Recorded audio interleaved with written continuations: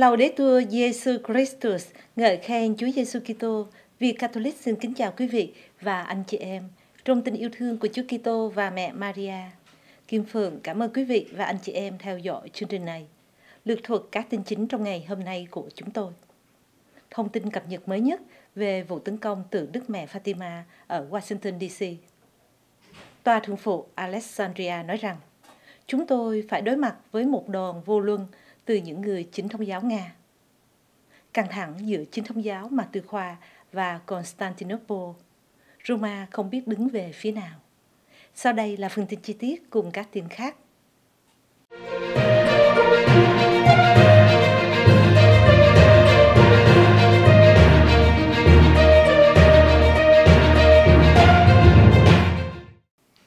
Thông tin cập nhật mới nhất về vụ tấn công tượng Đức Mẹ Fatima ở Washington, D.C. Người phát ngôn của Đền Thánh Quốc gia Đức Mẹ Vô Nhiễm Nguyên Tội nói với thông tấn xã Catholic News, gọi tắt là CNA rằng bức tượng Đức Mẹ Fatima bị phá hại là không thể sửa chữa được và cho biết thêm cảnh sát đã biết danh tính của một nghi phạm được tìm kiếm liên quan đến vụ tấn công ngày 5 tháng 12. Một phát ngôn viên của Sở Cảnh sát thủ đô xác nhận với CNA rằng một người quan tâm đã được xác định nhưng cho biết cảnh sát chưa tiết lộ thêm bất kỳ thông tin nào vào lúc này. Không có vụ bắt giữ nào được báo cáo.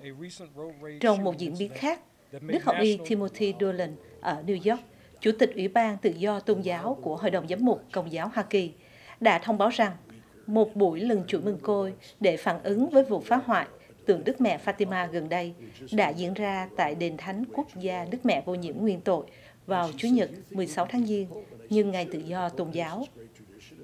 Tôi khuyến khích tất cả những người công giáo tham gia vào sự kiện này vì chúng ta cần cầu nguyện để tất cả các cộng đồng tôn giáo được tự do thờ phượng mà không sợ hãi và xin Chúa tiếp tục chúc lành cho đất nước vĩ đại này. Đức Hồng Y Dolan cho biết trong một tuyên bố phát hành hôm thứ Sáu ngày 14 tháng Giêng. Buổi lần chuỗi mừng côi đã được tổ chức vào lúc 1 giờ 30 phút chiều giờ miền Đông Hoa Kỳ và sẽ được phát trực tiếp. Đức Hồng Y Dolan nói thêm, nghệ thuật tôn giáo hướng dẫn và truyền cảm hứng. Nó nhắc nhở chúng ta rằng chúng ta sống trọn vẹn nhất khi chúng ta hướng cuộc sống của mình về phía đứng tạo hóa và những người xung quanh. Mặt khác, Việc phá hại các biểu tượng thánh thiên công cộng như vậy sẽ làm suy giảm cuộc sống chung cùng nhau của chúng ta và làm tổn hại đến lợi ích chung. Cảnh sát đã chia sẻ đoạn phim giám sát cho thấy một người đàn ông đeo mặt nạ tiến đến tượng Đức Mẹ nằm bên ngoài đền thánh Đức Mẹ.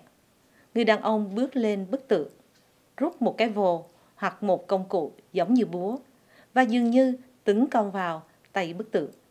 Hắn leo xuống nhìn giáo giác chung quanh xem động tính trước khi bước lên một lần nữa và liên tục đập mạnh vào mặt tượng Đức Mẹ, làm bay các mảnh đá cẩm thạch. Người phát ngôn của đền thánh Đức Mẹ nói với CNA rằng chi phí thay thế bức tượng bằng đá cẩm thạch Carrara sẽ được xác định.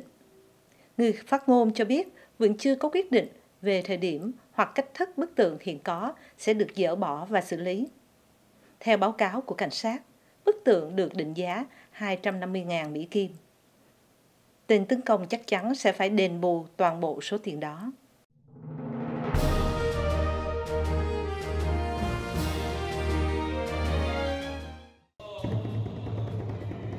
Tòa Thượng phụ Alexandria, chúng tôi phải đối mặt với một đòn vô luân từ những người chính thống giáo Nga. Thánh công đồng của Tòa Thượng phụ Alexandria vừa hoàn tất phiên họp 3 ngày từ 10 đến 12 tháng riêng và đã đưa ra một thông cáo chung. Nội dung nhằm thông báo về việc bầu chọn một tân tổng giám mục và năm giám mục mới, cũng như phản ứng lại chính thống giáo Nga. Vào thời điểm hiện tại, Thánh Công đồng cho biết một số giáo sĩ ở Phi Châu phục vụ với mức lương thấp, thậm chí trong nhiều miền, các ngài không có lương bổng gì cả trong hai năm qua vì đại dịch coronavirus. Có lẽ vì thế, nhiều linh mục đã rời bỏ tòa thượng phụ Alexandria để gia nhập chính thống giáo Nga. Thánh Công đồng đã mạnh mẽ lên án quyết định ngày 29 tháng 12 của Tòa Thượng phụ Mạc Tư Khoa về việc thành lập một Tòa Thượng phụ Phi Châu và hai giáo phận ở Phi Châu và đón nhận 102 linh mục của Tòa Thượng phụ Alexandria. toàn văn thông báo của Thánh Công đồng Tòa Thượng phụ Alexandria. Như Tòa Thượng phụ Alexandria đã chỉ ra một cách khái quát trong hai năm qua, do Đức Thượng phụ Theodore của Alexandria công nhận giáo chủ chính thống giáo Ukraine. Chúng tôi đã bất ngờ phải đối mặt với sự xâm nhập và các hành động vô đạo đức của giáo hội chính thống giáo Nga thông qua các phương pháp bất kể giáo luật và khiếm nhã đối với thực hành và truyền thống của giáo hội, vốn được tất cả các bậc tiền bối của Đức Thượng phụ Kirill tôn trọng.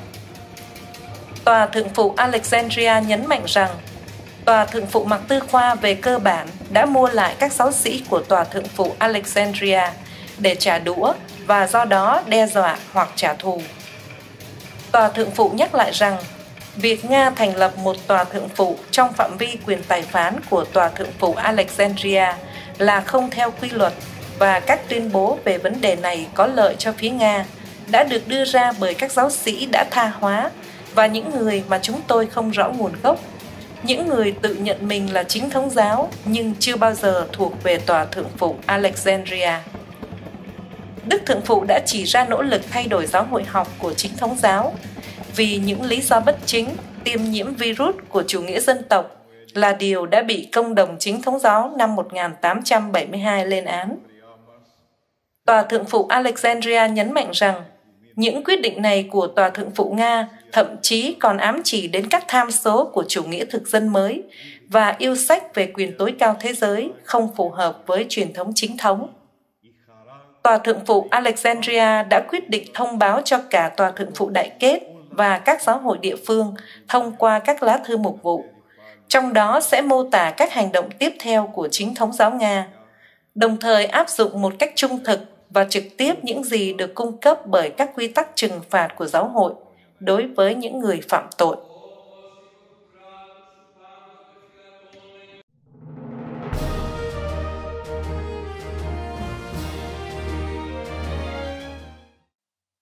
căng thẳng giữa chính thống giáo Mặc Tư Khoa và Constantinople. Roma không biết đứng về phía nào. Sandro Magister, ký giả kỳ cựu về Vatican vừa có bài viết nhan đề Lilotrosia e sisma tra Mosca e Constantinopoli, mà Roma non sa conquistare. Nghĩa là trong thế giới chính thống giáo đang có sự ly giáo giữa Mạc Tư Khoa và Constantinople, nhưng Roma không biết đứng về phía nào. Ngay khi những tin đồn đang nổi lên xoay quanh địa điểm và ngày giờ diễn ra cuộc gặp mới được nhiều người trông đợi giữa Đức Thánh Cha Francisco và giáo chủ chính thống giáo của Mạc Tư Khoa, Kirill, với việc Kazakhstan bỏ cuộc và tu viện Panon Halma của Hung Gia Lợi tràn trề hy vọng. Mối quan hệ giữa công giáo và chính thống giáo trên thực tế đang bị tê liệt. Rắc rối nghiêm trọng đối với Đức Thánh Cha Francisco đến từ những gì đang xảy ra trong thế giới chính thống giáo Đức Thượng Phụ Kirill đang có xung đột công khai trên bờ vực ly giáo với hai trong số các tòa thượng phụ lịch sử của giáo hội Đông Phương, Constantinople và Alexandria là những tòa trước đây đặc biệt gần gũi với Roma.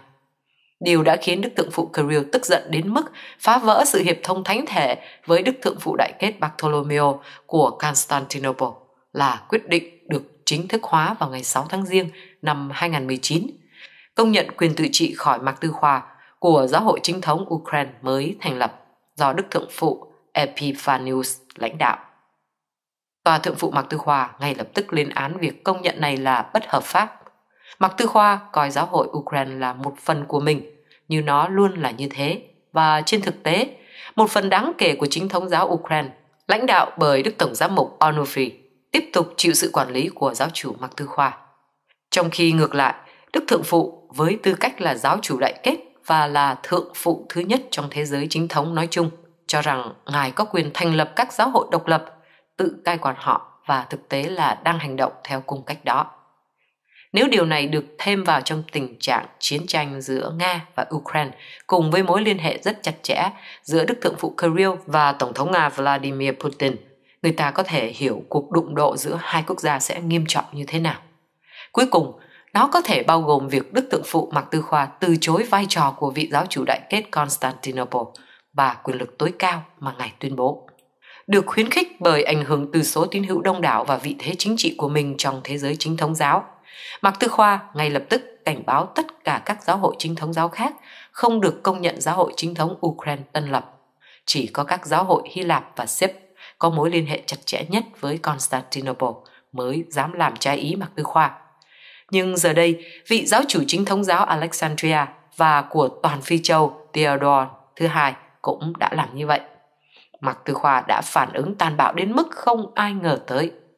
Tín hiệu đầu tiên bắt nguồn từ tháng 12 năm 2019, khi Tòa Thượng phụ Mạc Tư Khoa lấy mất của Tòa Thượng phụ Alexandria sáu giáo sứ Phi Châu giao cho các nhà truyền giáo Nga.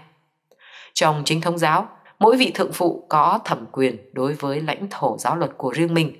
Trong đó không có thượng phụ nào khác có thể can thiệp và Phi Châu theo truyền thống cổ đại thuộc về tòa thượng phụ Alexandria.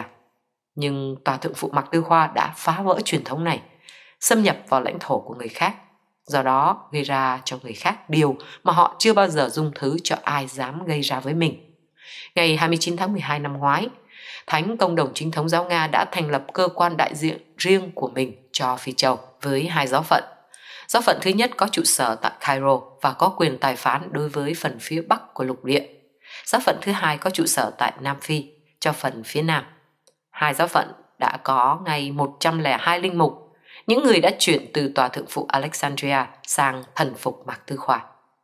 Tòa thượng phụ mới có trụ sở chính không phải ở Phi Châu, mà ở Mạc Tư Khoa, và đã được giao cho Đức Tổng giám mục Leonid của Vladikavkaz với tức hiệu là Đức Thượng Phụ Toàn Phi Châu.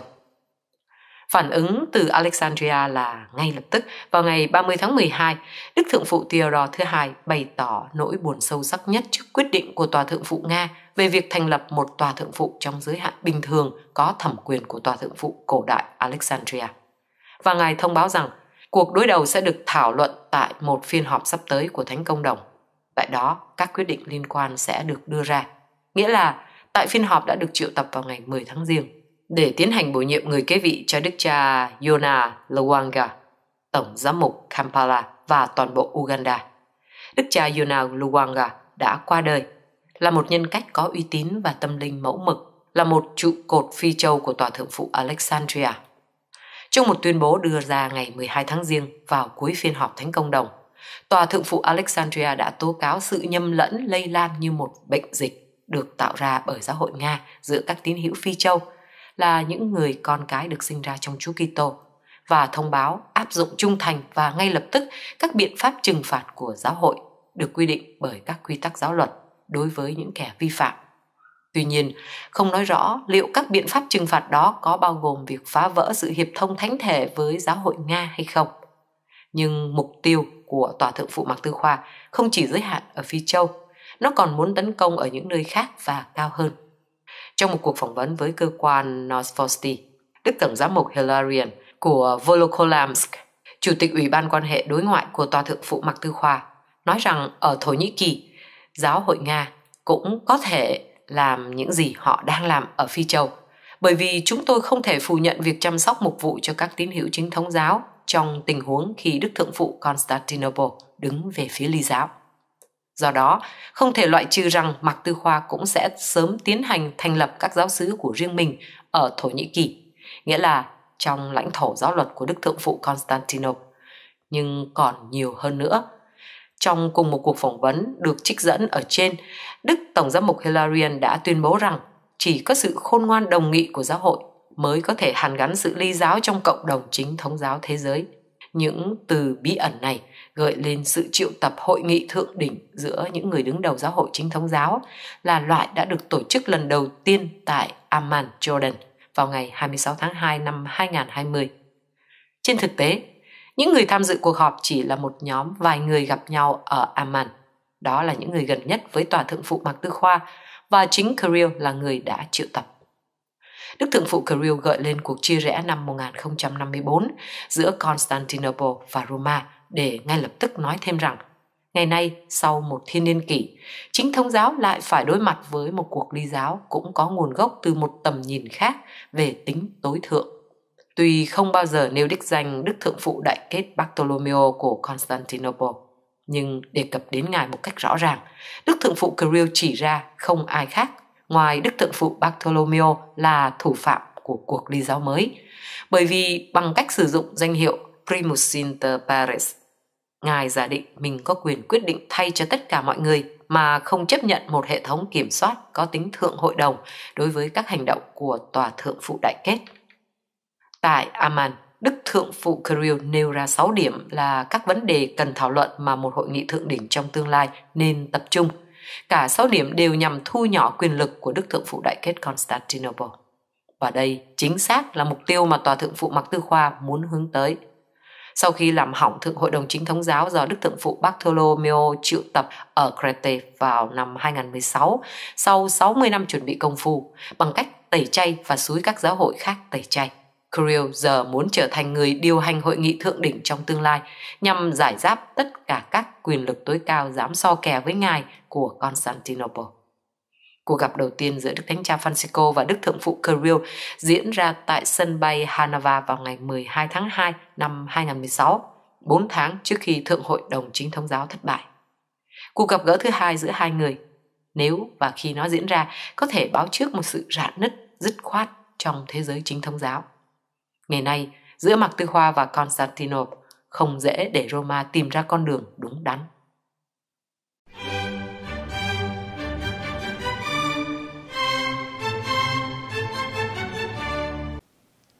Chương trình của chúng tôi đến đây là hết.